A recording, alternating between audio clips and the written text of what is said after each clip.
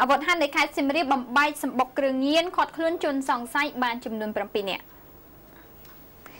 ជនសង្ស័យប្រុសស្រីចំនួន7នាក់ត្រូវបានកម្លាំងវុធហត្ថខេត្តសៀមរាបចាប់បង្ក្រាបកាលពីវេលាម៉ោង21យប់ថ្ងៃទី20កក្កដាម្សិលមិញខណៈកំពុងសម្ងំប្រើប្រាស់គ្រឿងញៀន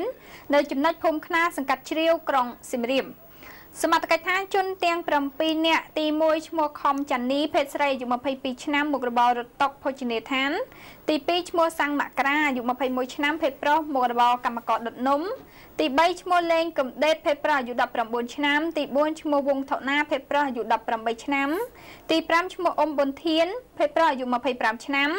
ទី6ឈ្មោះចន្ទាសម្ផស្សភេទប្រុសអាយុ28ឆ្នាំ និងទី7ឈ្មោះចៃវណ្ណៈភេទប្រុសអាយុ33ឆ្នាំ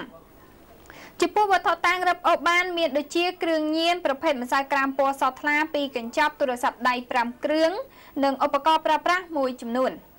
លោកវិរៈស្នេហ៍ឯកស្រីយូរ៉ាស្រីយូរ៉ាមេបញ្ជាការរងកងរាជវុធហត្ថខេត្តសៀមរាបបានប្រាប់ ANN ឲ្យដឹងថាការចាប់បង្ក្រាបករណីគ្រឿងញៀននេះគឺក្រោយពីទទួលបានសេចក្តីរាយការណ៍ពីប្រជាពលរដ្ឋថាមានជនមួយក្រុមជួបជុំគ្នាប្រើប្រាស់គ្រឿងញៀននៅផ្ទះឈ្មោះចៃវណ្ណៈនៅទីតាំងកាត់ហេតុជនទាំង7នាក់នឹងត្រូវបញ្ជូនទៅតុលាការនៅរសៀលថ្ងៃទី21ខែកក្កដាឆ្នាំ2015នេះ។